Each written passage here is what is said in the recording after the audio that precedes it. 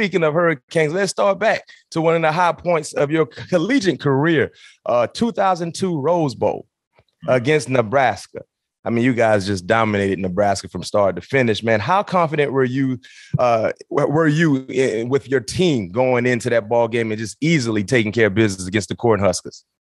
We were very confident. Um, I think the year before, uh, the year before we had played Florida in the Sugar Bowl. Yeah.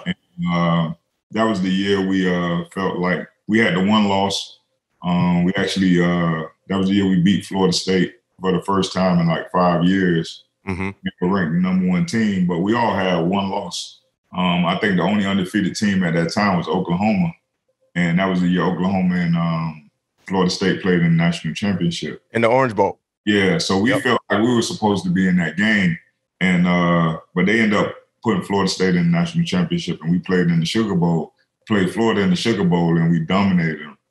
And I think when that happened, it just you know it just took off for us. So that that that next year, man, we were just you know like the even just summer workouts, man. The way guys came in and worked their butts off, man, and it was just uh, it was it was it was either win it all or or it was nothing. You know, yeah. so, uh, you know, it, we were very confident in the team we had. we had coming back that following year. Yeah, and for you individually speaking, Dre, man, you had what seven catches, one ninety nine. Uh, I, they, they didn't stand a chance, and I remember that game still like it was yesterday. They kept trying to bump and run you. You were too physical at the line of scrimmage. You were just winning that easily. Your first two steps, you were getting on top of it, man. Did you think you were going to have that type of ball game? Uh, I, I, I didn't know how it would play out. Um, you know, at the time they had the top cornerback in the country, which was uh Keyuo Craver. Mm-hmm. And, um, you know, that's all I heard all week was like, how are you going to do against him? You know, um, you know, he had all the hype and things like that. And um, Curtis Johnson, who who was our receiver coach at the time, yeah, told me he was like, man, we're gonna throw you like three or four deep balls.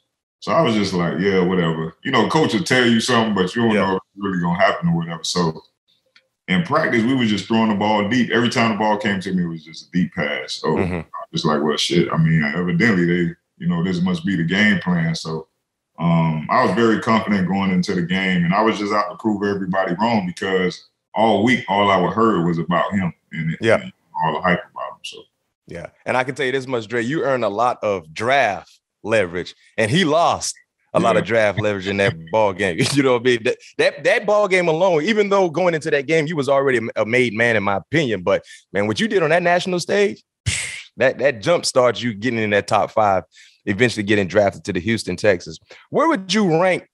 And I'm asking you this question, and I need an unbiased answer.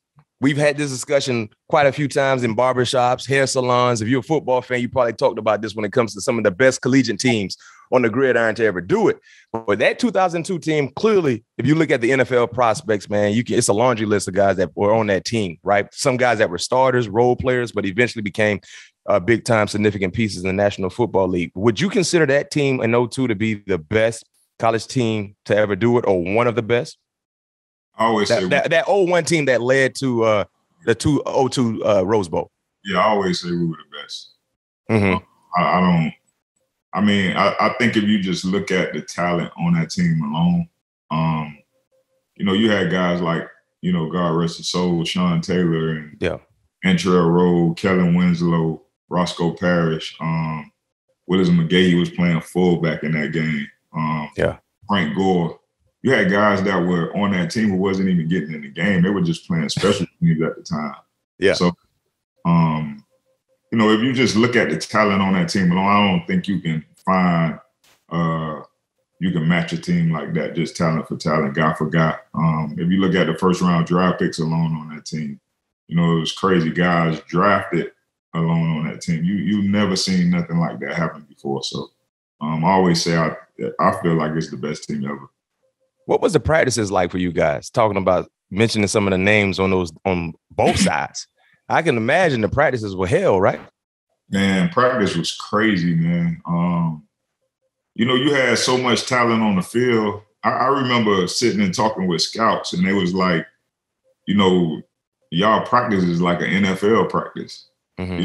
Hey, just just with so much talent, the the way we practice, how fast we practice, like everything was. You know, Coach Coker used to always tell us, "We only gonna be out here as long as y'all want to be out here." Mm-hmm. So the tempo was always like at a pace, man, like a crazy pace, and uh, you know, it was it, it was fun, man. But at the same time, we knew we were competing against guys in practice that was going to be better than the better than the guys we played on um, on Saturday. Yeah, yeah. And speaking of, you know, competition, your quarterback was a guy who got the job done, but he seemed to be, you know, slept on a little bit.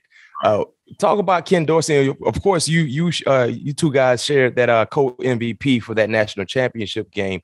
But why do you think a lot of people slept on Ken Dorsey throughout his time there at Miami? Because Ken Dorsey wasn't the flashy guy. You know, mm-hmm. he, just did things the right way.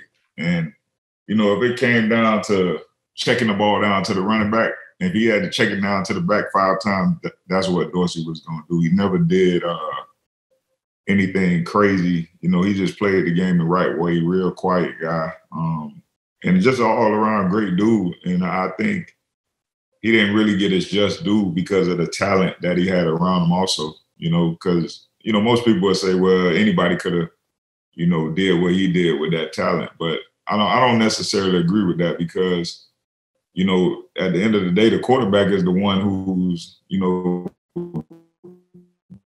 you know, orchestrating everything. So if you're not making the right plays with the players that you have, then you don't win.